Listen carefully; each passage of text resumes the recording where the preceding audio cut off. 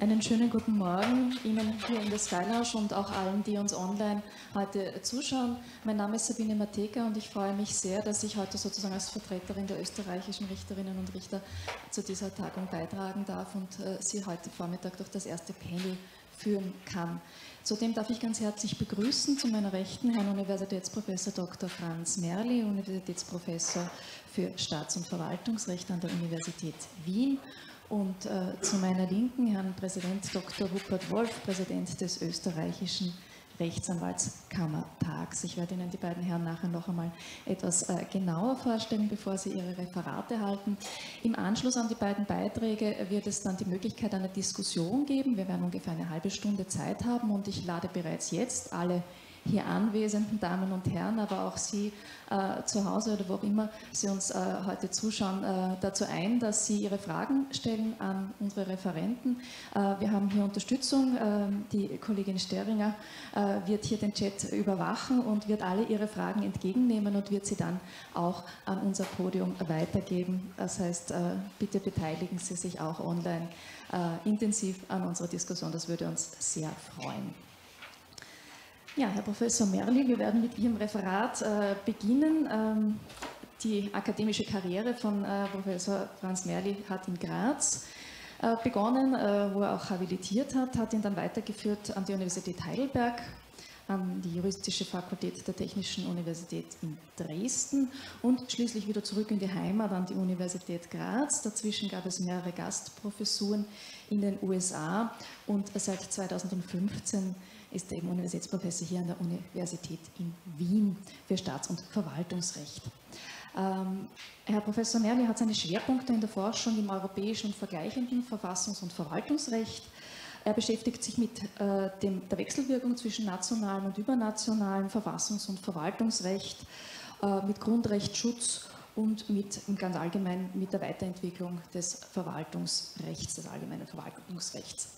Er hat sich auch mit vielen aktuellen Themen in letzter Zeit äh, beschäftigt, darunter mit der Diskussion der sehr umstrittenen Sicherungshaft, ähm, auch mit Fragen der Grundrechtseingriffe oder Einschränkungen im Rahmen der äh, Pandemie.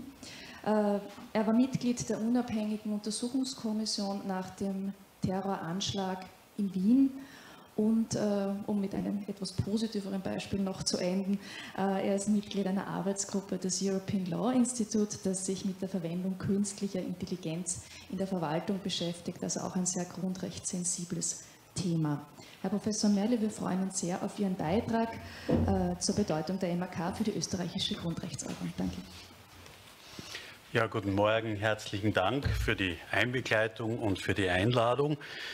Ich möchte mich dem Thema der Bedeutung der MAK für die österreichische Grundrechtsordnung in drei Thesen nähern. Erste These, die MAK, die österreichische Grundrechtsordnung, grundlegend umgestaltet. Das ist sozusagen die konventionelle Erzählung. Zweite These, die EMAK hat eine österreichische Grundrechtsordnung verhindert. Und dritte These, die heutige Bedeutung der EMAK liegt vor allem in ihrem internationalen Charakter. These 1, die MAK, die österreichische Grundrechtsordnung, grundlegend umgestaltet, blickt jubiläumsadäquat zurück und fragt sich, was passiert ist. Das ist eine lange und komplizierte Entwicklung. Wir kennen alle einzelne Elemente und wir haben jetzt auch schon einige gehört, aber wir sehen selten auf das Ganze und das Zusammenwirken vieler, vieler Einzelprozesse. Die EMAK hat uns zunächst neue Grundrechte beschert. Das ist so selbstverständlich, dass es in den meisten Festreden gar nicht erwähnt wird. Finde ich bemerkenswert. Ich möchte ein paar von Ihnen zumindest erwähnen und äh, auf, auf ihre Auswirkungen eingehen. Neu ist das Recht auf Leben das Artikel 2 EMAK. Das Recht auf Leben wird zwar im Staatsvertrag von Saint-Germain erwähnt, sogar ausdrücklich als Schutzpflicht, hat aber praktisch nie eine Rolle gespielt. Artikel 2 im AK dagegen hat jeden lebensbedrohlichen staatlichen Waffengebrauch zum Grundrechtseingriff gemacht, eine Untersuchungspflicht von Tötungen begründet und auch positive Handlungspflichten des Staates, wie zum Beispiel die ärztliche Versorgung und Ernährung im Arrest grundrechtlich abgesichert. Ähnlich setzt Artikel 3 EMAK, das Verbot der Folter und von unmenschlicher oder erniedrigender Behandlung oder Strafe staatlicher Gewalt eine absolute Grenze. Eine Grenze, die trotz allen Fortschritts noch immer relevant bleibt. Artikel 2 und 3 EMAK zusammen haben als Basis des Refoulement-Verbots schließlich große Bedeutung für die Ausweisung und die Abschiebung, für die Rückführung und für die Auslieferung und für jede noch anders betitelte Außerlandesschaffung von Ausländern. Wir haben da ja viele unterschiedlich benannte Instrumente. Für sie alle gilt das Refoulement-Verbot und in gewisser Weise ersetzt es ein verfassungsgesetzliches Asylrecht bis zu einem gewissen Grad. Artikel 6 hat gemeinsam mit Artikel 13 und den Verfahrensgarantien des siebten Zusatzprotokolls unseren Sinn für die verfahrensrechtliche Dimension des Grundrechtsschutzes gestärkt, neben den Procedural Limbs, wie sie genannt werden, auch der materiellen Grundrechte. Für den Zugang zu unabhängigen und unparteilichen Gerichten und ein faires Verfahren mit Waffengleichheit der Parteien, für die Probleme der Doppelbestrafung und der Unschuldsvermutung, einige zu nennen. Das hat unter anderem zur Beseitigung obrigkeitsstaatlicher Rechte, Privilegien der Staatsanwaltschaft zum Beispiel im Strafverfahren geführt, zu seiner Erneuerung nach einer verurteilenden Entscheidung des Europäischen Gerichtshofes für Menschenrechte, eine Zuständigkeit, die übrigens der OGH inzwischen zur Stärkung seiner Rolle als Grundrechtsgericht deutlich ausgebaut hat. Für das Verwaltungsrecht musste das gesamte in der Verfassung vorgesehene Rechtsschutzsystem umgestaltet worden. Das ist ja schon zweimal angesprochen worden. Zuerst durch die Schaffung der UVS und einer Vielzahl anderer unabhängiger Rechtsschutzinstanzen innerhalb der Verwaltung. Dann durch, wurden diese gerichtsähnlichen Verwaltungsbehörden durch echte Verwaltungsgerichte ersetzt, die wie die Behörden in der Sache selbst, aber eben unabhängig und hoffentlich besser entscheiden. Artikel 8 garantiert das Privatleben und das Familienleben. Besonders produktiv hat sich das Recht auf Privatleben erwiesen. Es kreist um die Felder körperliche Unversehrtheit, Stichwort Impfpflicht, Selbstbestimmung, Identität und Geltungsanspruch sowie soziale Beziehungen. Es schützt damit vieles, was uns heute wichtiger ist oder wichtiger geworden ist, als es vielleicht früher war. Und es bietet uns mehr Möglichkeiten der individuellen Unterscheidung. Das Recht auf Familienleben wiederum spielt inzwischen eine zentrale Rolle als Schranke für die Entziehung von Aufenthaltstiteln bei Ausländern. Über die äh, Umgestaltung des Obsorgerechts wurde ja schon gesprochen. Man könnte noch erwähnen, etwa das Recht auf Bildung oder das Verbot von Kollektivausweisungen als neue Grundrechte. Darüber hinaus hat die Menschenrechtskonvention vorhandene Rechte ganz wesentlich modifiziert. Wiederum einige Beispiele nur. Artikel 5, das Recht auf persönliche Freiheit, hat eine alte, schwächere nationale Garantie abgelöst und zu einer neueren, im Vergleich mit der MAK stärkeren innerstaatlichen Garantie geführt. Den BVG zum Schutz der persönlichen Freiheit aus 1988 dem übrigens fast einzigen systematischen Fortschritt der innerstaatlichen Grundrechtsordnung in den letzten 100 Jahren, wenn ich das sagen darf. Besonders wichtig daran ist die Beschränkung der Haftgründe und ein ausreichender gerichtlicher Rechtsschutz. Und auch die Einführung der Grundrechtsbeschwerde beim OGH gehört in diesen Zusammenhang. Die Religionsfreiheit des Artikel 9 umfasst auch die Konstituierung der religiösen Gemeinschaften als juristische Personen und die Gleichbehandlung der Religionen untereinander. Die Kommunikationsfreiheit des Artikel 10 stützt, äh, schützt auch verstörende Meinungen und kommerzielle Werbung und garantiert die Freiheit des Rundfunks, sodass ein Monopol nicht mehr zulässig ist. Sie steht in einem besonderen Zusammenhang mit der Demokratie und deshalb dürfen Medien und NGOs als Public Watchdogs nur unter ganz engen Voraussetzungen Beschränkungen auferlegt werden. Umgekehrt müssen Public Figures wie Politiker im öffentlichen Diskurs eben mehr aushalten als andere Menschen. Das alles haben wir in einer ganzen Reihe von Entscheidungen des EGMR gegen Österreich mühsam lernen müssen. Auch ein Recht auf Zugang zu Informationen lässt sich unter bestimmten Umständen aus Artikel 10 MAK ableiten. Da kämpfen wir derzeit noch mit der Verwirklichung. Zum Eigentum des ersten Zusatzprotokolls gehören auch öffentlich-rechtliche Ansprüche. Die Bestimmung verlangt auch eine Entschädigung für Enteignungen. Artikel 3 Absatz 1, äh, Artikel 3 des ersten Zusatzprotokolls gewährt das Wahlrecht grundsätzlich auch den Strafgefangenen und für seine Aberkennung im Einzelfall mussten wir erst die Verfassung ändern, um eine entsprechende Grundlage dafür zu haben. Das sind alles Beispiele für solche modifizierende Wirkungen.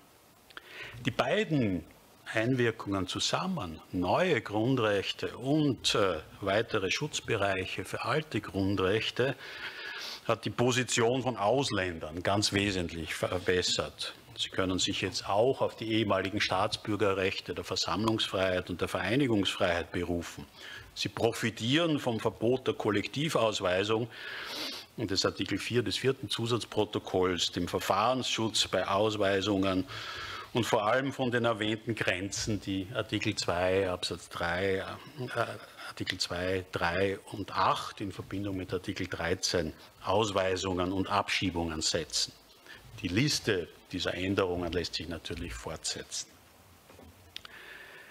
Bei der Auslegung und Weiterentwicklung dieser neuen Grundrechtsgehalte ist der VfGH nach anfänglichen Fremdeln, wenn ich das so nennen darf, weitgehend der Rechtsprechung des EGMR gefolgt. Einen wirklichen Konflikt gab es nur einmal, als der VfGH nämlich grundsätzliche Hindernisse sah, der Rechtsprechung des EGMR zum Verwaltungsrechtsschutz zu folgen und mit einer Kontrolle der Rechtmäßigkeit des Beitritts, des österreichischen Beitritts zur EMAK drohte. Das Problem wurde dann in der Folge judikativ von beiden Seiten klugerweise nicht auf die Spitze getrieben und legislativ zunächst entschärft und dann schon nach 20 Jahren mit der zweistufigen Verwaltungsgerichtsbarkeit gelöst. Das ist also weg jetzt. Im Übrigen gab es immer wieder punktuelle Abweichungen zwischen den Rechtsprechungen, besonders in Bereichen, in denen die Rechtsprechung des EGMR selbst noch unklar war oder in denen der VfGA Unterschiede im Sachverhalt sah, zum Beispiel beim Doppelbestrafungsverbot, beim Wahlrecht für Häftlinge oder kürzlich bei der Jagd als Eigentumsbeschränkung. Aber im Großen und Ganzen hat der VfGH dem EGMR treue Gefolgschaft erwiesen, bei den öffentlich-rechtlichen Vermögenspositionen, als Teil der Eigentumsgarantie etwa oder nach einigem Zögern bei Diskriminierungen wegen der sexuellen Ausrichtung. Und im Manken hat er diese Judikatur auch weiterentwickelt. Vor allem aber hat der VfGH dabei einen neuen Umgang mit dem Recht gelernt, eine stärker zielbezogene Auslegung, eine Einbettung in einen Wertekontext, hier der Demokratie mit den Werten Freiheit, Pluralität und Toleranz. Eine Anwendung, die nicht die Entstehungsgeschichte der Norm, sondern die aktuellen Verhältnisse in den Mittelpunkt stellt und Grundrechte daher auch als erweiterbar betrachtet. Die Anerkennung von Schutzpflichten des Staates statt der formelhaften Ablehnung der Drittwirkung die Bedeutung der verfahrensrechtlichen Dimension für den Grundrechtsschutz. Das Verständnis von Grundrechten als Prinzipien, die mehr oder weniger erfüllt werden können und die mit öffentlichen Interessen oder Rechten anderer konkurrieren. Die Verhältnismäßigkeitsprüfung als Anforderung auch an die Gesetzgebung und die Abwägung als ihr Kern. Viel davon, vor allem die Verhältnismäßigkeitsprüfung, hat der VfGH auch auf die Grundrechte des Staatsgrundgesetzes übertragen.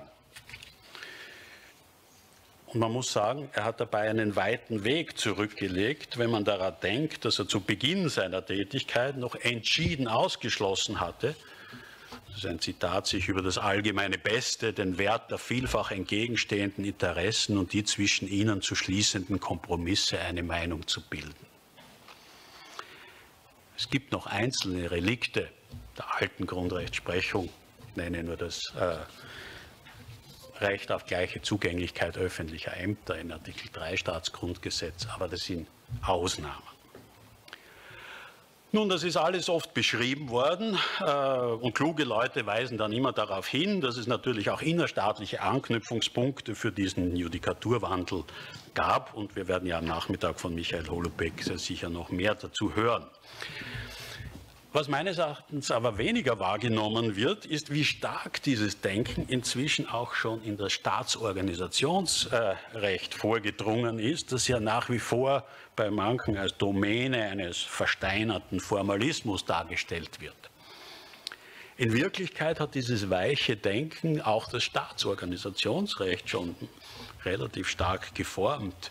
Wir operieren mit Prinzipien, mit Abweichungen, mit Abwägungen und dem Überwiegen bestimmter Elemente, zum Beispiel beim Begriff der Gesamtänderung der Bundesverfassung, bei den Baugesetzen, die eben auch Grundprinzipien genannt werden, dem flexiblen Determinierungsgebot für gesetzliche Ermächtigungen, dem System der hierarchischen Ministerialverwaltung und Ausnahmen dazu durch Ausgliederungen und Weisungsfreiheit, beim Konzept der angemessenen Aufsicht, das sich jetzt auch schon im BVG selbst findet, der Berücksichtigung kompetenzfremder Belange, bei der Abgrenzung der Hoheitsverwaltung von der Privatwirtschaftsverwaltung bis hin zur Zulässigkeit von Individualanträgen auf Normenkontrolle und der Zumutbarkeit anderer Rechtswege. Sehen also, das ist weit fortgeschritten. Doch zurück zur EMAK. Sie hat viel bewirkt, das sollte nun deutlich geworden sein, und eine bestimmte Wirkung behandelt auch meine zweite These. Die EMAK hat eine österreichische Grundrechtsordnung verhindert. Das ist natürlich eher eine Hypothese als eine These, denn um sie plausibel zu machen, müssen wir uns fragen, ob sich ohne die geschilderte starke Rolle der Menschenrechtskonvention eine vollständigere österreichische Grundrechtsordnung entwickelt hätte. Das lässt sich natürlich nicht beweisen. Ich meine aber ja. Ich glaube, dass Österreich mit dem Bestand der Grundrechte aus dem Staatsgrundgesetz und den paar punktuellen Ergänzungen dazu, die es anderswo gibt, auf Dauer nicht ausgekommen wäre. Zwar hätte der VfGH sicher das eine oder andere ungeschriebene Grundrecht erfinden können. Und aus dem Gleichheitssatz lässt sich ohnehin alles Gewünschte ableiten, wie zum Beispiel jüngst die Entscheidung zur Sterbehilfe zeigt, in der der Gerichtshof ausspricht, ich vereinfache ein bisschen, dass Gleichheit Freiheit ist. Doch setzt das schon eine gerichtliche Innovationsbereitschaft voraus, die der Verfassungsgerichtshof erst und vor allem im Umgang mit einer starken Menschenrechtskonvention gelernt hat und die ohne diese Erfahrung vielleicht nicht so ausgeprägt wäre. Vor allem hat es aber immer wieder den Wunsch nach einem echten Verfassungstext gegeben, einem zeitgemäßeren und vollständigeren nationalen Grundrechtskatalog. Dazu sind mehrere Kommissionen eingesetzt worden und zuletzt hat auch der Österreich-Konvent intensiv sich damit auseinandergesetzt. Auf, aus allen diesen Projekten ist meines Erachtens nicht deshalb nichts geworden, weil man sich nicht einigen konnte, sondern weil man sich nicht einigen musste. Es gab ja ohnehin schon eine starke EMAK als Ersatzlösung. Dass es aber so eine starke EMAK gab, das war keinesfalls zwingend. Ich glaube zwar nicht, dass es in der politischen Situation der Nachkriegszeit für Österreich eine realistische Alternative zum Beitritt zur Menschenrechtskonvention gegeben hätte, aber die Menschenrechtskonvention bezieht ihre innerstaatliche Stärke ja erst aus ihrem Verfassungsrang und ihrer unmittelbaren Anwendbarkeit. Und beides ist, anders als uns das heute erscheint, keineswegs selbstverständlich. Verfassungsrang und unmittelbare Anwendbarkeit sind zunächst völkerrechtlich nicht gefordert. In welchem Rang die MAK steht und ob sie direkt oder über Umsetzungsvorschriften angewendet wird, das macht aus, der, aus völkerrechtlicher Sicht keinen Unterschied und das zeigt ja auch der, der Vergleich zwischen verschiedenen Mitgliedstaaten. Es kommt nur darauf an, dass sie respektiert wird. Das BVG sah damals, da galt noch die Stammfassung, zwar die Möglichkeit von Staatsverträgen im, Sta im Verfassungsrang vor, übrigens eine bemerkenswerte Besonderheit im internationalen Rechtsvergleich. Wie diese Möglichkeit aber zu nutzen war und ob und unter welchen Voraussetzungen sie genutzt werden musste, das war Gegenstand intensiver und kontroverser Debatten, die wir heute großteils vergessen haben. Nach Artikel 50 Absatz 2 des damaligen äh, BVG waren für die Genehmigung des Staatsvertrags auch Artikel 44 Absatz 1 über die Erlassung von Verfassungsgesetzen sinngemäß anzuwenden. Zitat, wenn durch den Staatsvertrag ein Verfassungsgesetz geändert wird. Das konnte man so verstehen, dass es für Staatsverträge galt, deren Inhalt geltendem Verfassungsrecht widersprach oder auch für solche Staatsverträge, die Verfassungsrecht nur ergänzten oder aber ganz unabhängig von ihrem Inhalt für solche Staatsverträge, für die die Gesetzgebung den Verfassungsrang eben wollte.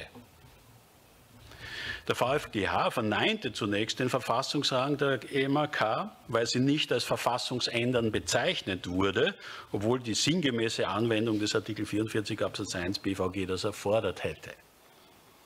Der Verfassungsgesetzgeber stellte daraufhin bekanntlich ihren Verfassungsrang in einem BVG ausdrücklich fest und klärte damit die Sache. Ausschlaggebend dafür konnte aber kaum die Meinung gewesen sein, der Inhalt der EMAK stehe im Widerspruch zur Verfassung, denn das wurde in den Materialien ganz anders gesehen. Vielmehr fühlte sich der Gesetzgeber dazu, dazu verpflichtet, weil es um Grundrechte ging. Das hielt ihn allerdings nicht davon ab, spätere Verträge wie die UN-Menschenrechtspakte nur im einfach gesetzlichen Rang zu genehmigen. Also richtig schlau wird man nicht daraus. Warum? das äh, geschehen ist, freiwillig oder aus eingebildeter Verpflichtung, das ist nicht klar. Der Verfassungsgerichtshof bestritt auch die unmittelbare Anwendbarkeit mehrerer Bestimmungen der EMAK und die Bundesregierung teilte diese Meinung offenbar, weil sie 1959 eine Regierungsvorlage zu einem BVG erstellte, mit dem die erforderlichen Bestimmungen zur Erfüllung der von Österreich durch die Ratifikation der Konvention übernommenen Verpflichtungen getroffen werden sollten. Nach der ausdrücklichen Verankerung des Verfassungsrangs der EMAK änderte der VfGH mit Berufung auf diese Verankerung seine Rechtsprechung und akzeptierte die unmittelbare Anwendbarkeit einer bestimmten Bestimmung der EMAK das kann man verstehen, ja, weil die sehr allgemeinen Formulierungen der Menschenrechtskonvention auf Verfassungsebene natürlich weniger auffallen. Ja, sie passen ja zu Wendungen wie das Eigentum ist unverletzlich oder ähnlicher äh, Passagen aus dem Staatsgrundgesetz. Aber eigentlich haben der Rang und die unmittelbare Anwendbarkeit natürlich nichts miteinander zu tun. Und der Verfassungsgerichtshof hat auch anderen Bestimmungen der EMAK die unmittelbare Anwendbarkeit auch dann noch ausgesprochen, als die Begründung eigentlich weggefallen ist, weil der Verfassungsrang der EMAK schon feststand. Erst später und nach und nach akzeptierte er diese unmittelbare Anwendbarkeit und äh, der BVG-Entwurf zur Umsetzung der EMAK verschwand in der Schublade und es wurde nicht mehr von ihm gesprochen. Was ich mit all dem sagen will, ist, es hätte auch ganz anders kommen können. Die EMAK hätte ein obskurer Staatsvertrag bleiben können, den man außerhalb des Völkerrechts, wie etwa in Deutschland, erst in den 90er Jahren und vielleicht im Zusammenhang mit dem EU-Beitritt entdeckt hätte. Und wenn das so gewesen wäre, dann hätten wir möglicherweise inzwischen einen eigenen Grundrechtskatalog aus dem 20. Jahrhundert. Als die Zeitschrift für öffentliches Recht äh, vor kurzem nach dem besten äh, VfGH-Erkenntnis gefragt hat, da war ich versucht, die genannte Entscheidung über, die, über den einfach gesetzlichen Rang der EMAK zu nominieren. Ich habe dann davon Abstand genommen, weil ich mir gedacht habe, das Beste ist es doch nicht. Aber es war sicher eines der folgenreichsten Erkenntnisse, denn es hat den Gesetzgeber veranlasst, sich auf den Verfassungsrang der EMAK festzulegen und damit die Grundentscheidung für einen internationalen Grundrechtsschutz innerhalb des nationalen Rechts getroffen. Und damit bin ich schon bei meiner dritten These. Die dritte These lautet, die heutige Bedeutung der Menschenrechtskonvention liegt vor allem in ihrem internationalen Charakter. Das beginnt damit, und es wurde ja auch schon angesprochen heute, dass wir ganz selbstverständlichen Umgang mit einem internationalen Vertrag pflegen, was für innerstaatliche Juristen nicht immer selbstverständlich ist.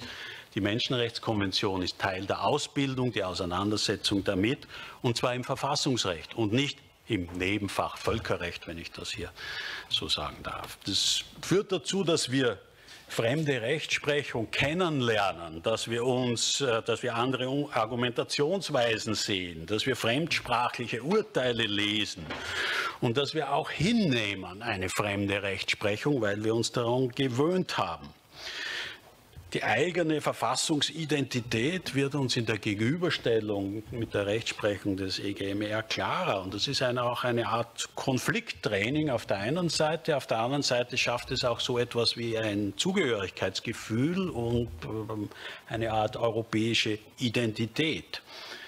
Zudem hat natürlich diese internationale Absicherung eine, bei der Legitimierung der österreichischen Politik und überhaupt staatlichen Situation nach außen geholfen, etwa als die Schüsselregierung an der Macht war und ein bisschen unter Druck bekommen ist. Der internationale Charakter der EMAK war auch die beste Vorbereitung für den EU-Beitritt. Wir waren vieles schon gewohnt und die Grundrechtecharta konnte uns nicht mehr schrecken. Das kannten wir sozusagen im Kern schon. Vor allem aber, und das ist jetzt der wichtigste Punkt, äh, ist damit eine externe Kontrolle verbunden und die Tatsache, dass der Maßstab für die Grundrechtsprüfung nicht in unserer alleinigen Hand ist. Wir können ihn nicht allein abändern. Das halte ich für durchaus notwendig und hier zum Schluss noch einige Beispiele aus der letzten Zeit, die das vielleicht illustrieren sollen. Frank Stronach hat die Todesstrafe für Berufskiller gefordert. Keine gute Idee aus der Sicht der EMAK, aber wer ist schon Frank Stronach? Jürgen Bodenseer, ein ÖVP-Abgeordneter, hat die Todesstrafe für Kinderschänder gefordert, allerdings nur in krassen Fällen. Er hat äh, auch Kritik von Parteifreunden bekommen, aber wer ist Jürgen Bodenseer? Den Stadtrat Peter Hacker kennen wir. Der hat sich äh, im Dezember 2019 für eine Erweiterung des Bettelverbots ausgesprochen und äh, für eine ziemlich radikale Entfernung von Anführungszeichen gewerbsmäßigen Bettlern aus Wien. Das hat ihm viel Kritik eingetragen, ist ja auch keine besonders einfache Idee unter Artikel 10 äh, EMAK. Und das hat dazu geführt, dass er die Äußerung dann wieder zurückgenommen hat. Der damalige Innenminister Wolfgang Sobotka wollte Anfang Februar 2017 das Demonstrationsrecht sehr stark einschränken, zum Beispiel eine zivilrechtliche Haftung von Versammlungsleitern einführen, Spaßdemos untersagen und die Anmeldefrist äh, für äh, Demonstrationen stark erhöhen. Das ist auch nicht so eine einfache Idee unter dem Gesichtspunkt eines effektiven Schutzes der Versammlungsfreiheit unter der EMAK und deswegen ist es auch nicht so umgesetzt worden. Mhm. Der frühere Außen- und Integrationsminister Sebastian Kurz ist für ein Kopftuchverbot im öffentlichen Dienst eingetreten. Also, dass er also noch Außenminister war und die Frauen- und Integrationsministerin Raab hat das 2020 besonders für Lehrerinnen wieder gefordert. Finde ich auch keine besonders gute Idee aus der Sicht der EMAK, vor allem wenn man es so macht wie das Kopftuchverbot für, äh, in, in der Volksschule das ja vom Verfassungsgerichtshof aufgehoben wurde, weil es formal neutral formuliert in Wirklichkeit eine Diskriminierung einer Religion war.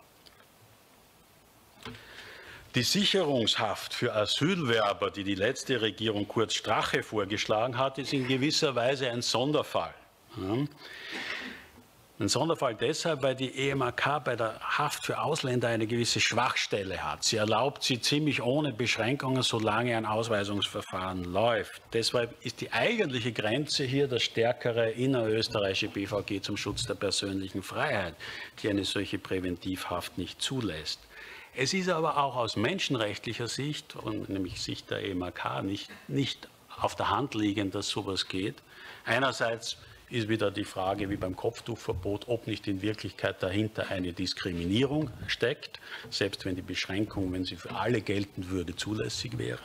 Und zweitens äh, gibt es einen Fall auch aus Großbritannien, wo der EGMR gesagt hat, das ist kein Ausländerrecht, das ist Terrorismusbekämpfung oder Kriminalitätsbekämpfung. Daher kann man sich auf die spezifisch ausländerrechtlichen Ermächtigungen oder Einschränkungen nicht berufen.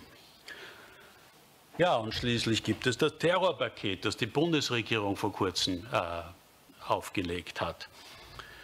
Das enthält äh, eine Reihe von guten Ideen, aber unter anderem auch ein Verbot von religiös motivierten extremistischen Vereinigungen. Ganz schlechte Idee, denn das ist entweder überflüssig oder es ist diskriminierend oder es ist beides. Jedenfalls ist es äh, aus der Sicht der Menschenrechtskonvention etwas, äh, was höchst problematisch ist. Und auch die Richtervereinigung hat ja Ähnliches gesagt, die äh, Oberstaatsanwaltschaft und andere Institutionen innerhalb des Begutachtungsprozesses. In allen diesen Punkten ist es nun wichtig, dass wir den Maßstab der Kontrolle nicht einfach innerstaatlich verändern können und zusätzliche Ermächtigungen für Grundrechtseinschränkungen schaffen können. Das kann Österreich allein nicht, denn diese Möglichkeit ist bei einem völkerrechtlichen Vertrag eben entzogen. Deshalb hat Herbert Kickel schließlich gesagt, äh, wir sollten eine Debatte über die Menschenrechtskonvention führen und sie durch eine ÖMRK, eine österreichische Menschenrechtskonvention ersetzen. Das nun, meine Damen und Herren, ist eine ganz schlechte Idee. Ich denke, wir sollten bei der Menschenrechtskonvention bleiben, denn die Menschenrechtskonvention schützt uns auch vor uns selbst. Ich bedanke mich.